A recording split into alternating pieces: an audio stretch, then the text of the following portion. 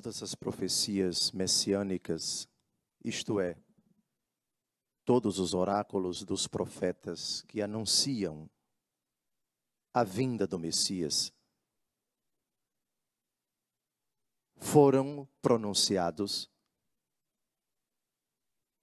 num contexto social, político e econômico bastante adverso.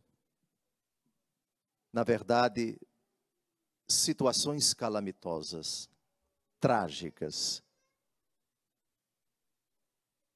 ameaçavam a própria existência do povo hebreu. Todas essas profecias são nos presenteadas pela igreja durante o tempo do advento.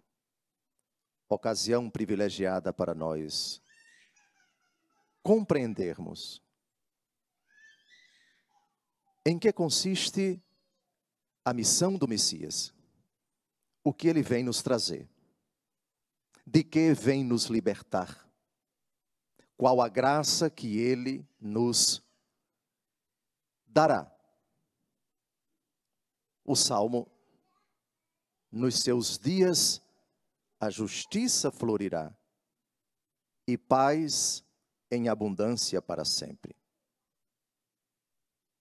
Quem lê já o primeiro capítulo do livro do profeta Isaías, percebe que o contexto do povo de Israel era completamente trágico. Imperavam a corrupção, as injustiças com todas as suas manifestações. A magistratura, ou seja, os juízes, todos corrompidos. Os sacerdotes, todos comprados. A realeza, completamente afastada de Deus, e estava em ato externamente uma iniciativa de fazer aliança com os deuses pagãos, cujos representantes eram os reis dessas nações, com as quais a lei de Moisés proibia que se fizesse aliança. A pobreza em Israel era, na verdade, mais do que indigência, era miséria pura com todas as consequências sociais, violência, exploração, opressão. O capítulo 1 do livro de Isaías nos ajuda a compreender o estado deplorável do povo de Deus. E aí nós compreendemos o consolo que essa profecia traz para Israel. A linguagem, ela é poética e não pode ser interpretada ao pé da letra por conseguinte. Imaginar, por exemplo, que a vaca e o urso pastarão lado a lado, enquanto suas crias descansam juntas, que o leão comerá palha como o boi, que a criança de peito vai brincar em cima do buraco da cobra venenosa, e o menino desmamado não temerá pôr a mão na toca da serpente. Obviamente, que é aqui essa poesia a respeito daquilo que o Messias traria, pois essa profecia trata do Messias, a haste que nascerá do tronco de Jessé, sobre quem repousará o espírito do Senhor, o espírito dos sete dons, sabedoria, discernimento, conselho, fortaleza, ciência, temor de Deus, piedade. Uma figura misteriosa que não julgaria segundo as aparências, uma sutil acusação aos juízes daquele tempo, que julgavam pelas aparências, que decidiam somente por ouvir dizer. Juízes que não faziam justiça aos humildes. E, pelo contrário, eram os principais responsáveis por uma ordem injusta. O Messias vai trazer exatamente o contrário o contrário daquilo que o povo via, daquilo que o povo experimentava. essa profecia não se cumpriu de imediato, estamos aqui nos anos 590, 580 antes de Cristo, alguns anos antes da grande tragédia que atingiu Israel, o exílio de Babilônia.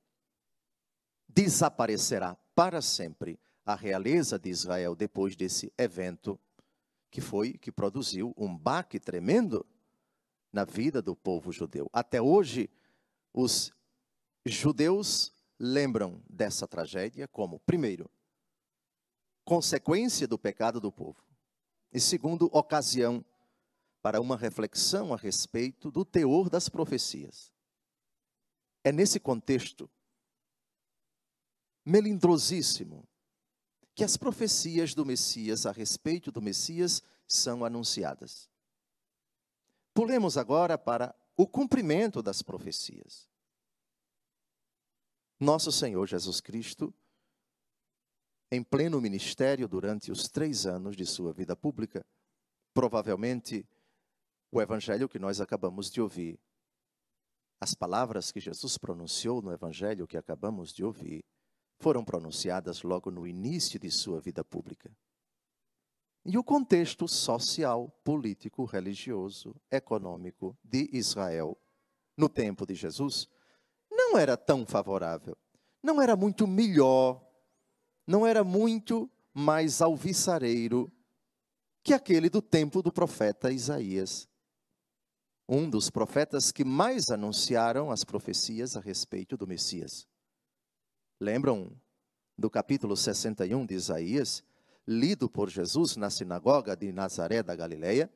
O, é, o Espírito do Senhor repousa sobre mim, pois ele me enviou para anunciar a boa nova aos pobres, para anunciar um ano da graça do Senhor, para libertar os cativos.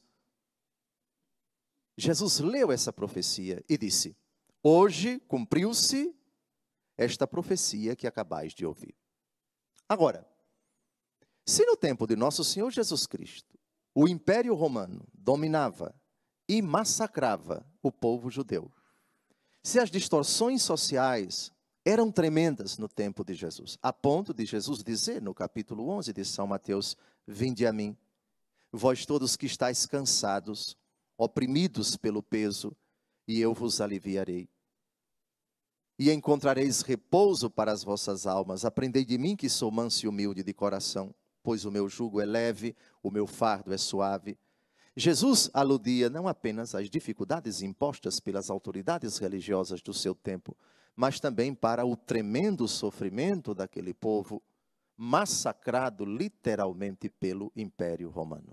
Ora, se Jesus disse na sinagoga de Nazaré, hoje se cumpriu esta passagem da Escritura, como explicar que ele veio anunciar um ano de graça, que ele trouxe libertação, que ele trouxe graça, que ele trouxe vida nova, que Jesus é o cumprimento desta profecia. O Messias vem trazer justiça para os humildes, ordem justa para os homens pacíficos, vai fustigar a terra com a força de sua palavra, vai destruir o mal com o sopro dos seus lábios. A resposta está no próprio evangelho que nós acabamos de ouvir. O Messias traz tudo aquilo de que fala o profeta na primeira leitura de hoje, mas numa outra ótica, numa outra perspectiva. Eu te louvo, Pai, Senhor do céu e da terra, porque escondeste essas coisas aos sábios e inteligentes e as revelaste aos pequeninos. Sim, Pai, porque assim foi do teu agrado. Lembram quando Jesus disse a uma autoridade tirana que foi responsável também pela morte dele. Tu és rei. Jesus disse: O meu reino não é deste mundo. Suas características não são as características de um reino mundano, de um reino civil, com um exército, com uma força opressora, que impõe de cima para baixo, que obriga, que não considera a capacidade da pessoa de entender, de refletir e de decidir. É um reino que nasce no coração do homem e precisamente à luz do evangelho de hoje, do pequeno. Esse reino não se manifesta ali onde existe o orgulho, a prepotência, a petulância, a dureza de coração, a capacidade autossuficiente do homem de dizer: não preciso de Deus, não quero colaborar com Ele. Na minha vida, quem manda sou eu, quem decide sou eu. Aqui o Senhor não reina. Aqui as profecias não se cumprem. Aqui Deus se esconde desta postura. Deus não se revela a quem pensa e age desta forma. Mas se revela aos pequenos. Mas como pode um reino subsistir ali diante dos pequenos, ali diante dos fracos, se o que vale hoje é a força, é o dinheiro, é o prestígio, é o poder? O poderoso fez em mim maravilhas, disse a Virgem. Ele olhou para a humildade de sua serva. É paradoxal que o Senhor se revele aos pequenos e nesses manifeste aos homens todo o seu poder. Derrubou os poderosos dos seus tronos e os humildes exaltou. Deus escolheu, diz São Paulo, na 1 aos Coríntios, capítulos 1 e 2, aquilo que o mundo considera como um nada.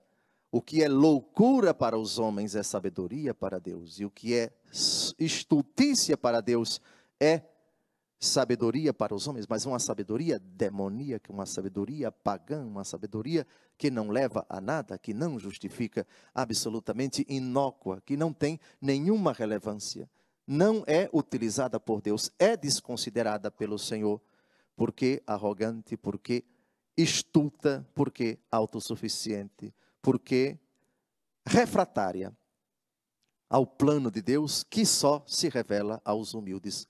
Curiosamente, os únicos que não colocam resistência, que não colocam oposição à ação de Deus na sua vida.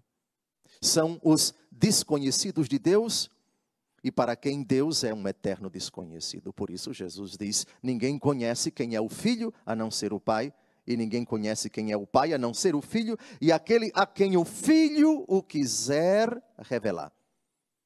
E o filho não quer revelar sua palavra, seu poder, aquele que é fechado para Deus. Aquele que com sua ditadura, aquele que com sua prepotência diz: Quem é este Deus? Não preciso dele. Para ele agir na minha vida, precisa do meu consentimento. E eu não quero, não aceito, não concordo, não me dobro, não me coloco como seu instrumento. Pronto. O Senhor respeita profundamente tal postura. Esconde-se desse. O preço é alto, Todavia, por favor, o preço é altíssimo. Aquilo que o homem semeia, isso ele colherá. Por outro lado, a felicidade para aqueles que se fazem humildes diante de Deus, que se fazem servos diante de Deus, aqueles que, espantados santamente, estupefactos diante do poder, da realeza, da simplicidade, da ternura, da candura do Messias que vem, tão pobre, tão pequeno, tão humilde, tão carente, tão necessitado da nossa colaboração. A figura do menino reclinado numa manjedoura evoca a ideia de um Deus que entra na nossa vida, tão manso. O que existe na convivência humana de mais impotente, de mais singelo, de mais puro, que não nos ameaça, que não nos intimida, que não grita conosco, que não nos ofende, que não vem com ostensão que não vem ostensivamente para nos ameaçar, para nos punir, para nos castigar. A figura de uma criança. Eis o Messias. Eis o reino que já tem início. Eis os pilares, os fundamentos, as manifestações, ou para usarmos o verbo que cantamos no salmo de hoje, nos seus dias a justiça florirá. A flor desabrochou, tão pequena, tão simples, graças ao orvalho da manhã, e ela vai adquirindo forma, o cheiro vai aumentando de intensidade, a planta vai encorpando e vai se impondo, mas tudo isso silenciosamente, docemente, brandamente. A figura até da planta, tão tênue, que depende tanto de tantos fatores para que ela possa subsistir. Depende da terra, depende da umidade relativa do ar, depende do calor, depende da iluminação, depende da terra, depende do cuidado do agricultor. Eis então a justiça florirando, florindo. Eis então a justiça despertando. Eis então a salvação que vem sendo trazida, que vem entrando na nossa história, não sem a nossa colaboração, não sem as dificuldades, não sem os entraves, não sem os percalços. Esse é o Messias que vem. Esse é o reino que entra na nossa história. Essa é a salvação que nos é dada. A salvação que não desmerece, que não ignora, que leva em conta e que se coloca, de certa forma, até como refém das nossas decisões, da nossa grande capacidade, do nosso grande poder que recebemos de Deus de rejeitá-lo ou de acolhê-lo, de enxergá-lo ou de ignorá-lo.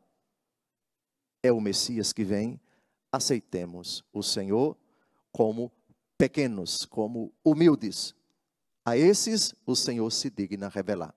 Aos outros, porém, o Senhor se compraz em se esconder dele. O Messias que vem é um Deus escondido, que só pode ser enxergado, descoberto na pequenez de Belém, pelos magos e pelos pastores. Mas em Jerusalém, Herodes não o descobre. Os doutores da lei não descobrem o Messias, antes ficam apavorados. Preparemos-nos para o Natal. Esse menino que nascerá não será conhecido de todos. Será um péssimo Natal para muitos corações, os corações entendidos. E será um santíssimo Natal para quem se fizer pequeno, para quem se fizer humilde, para quem se fizer simples. Natal é para quem tem um coração semelhante ao presépio, esmulambado, absolutamente desprovido de qualquer pretensão humana, de qualquer arrogância, de qualquer defeito da alma. Louvado seja nosso Senhor Jesus Cristo. Para sempre seja louvado.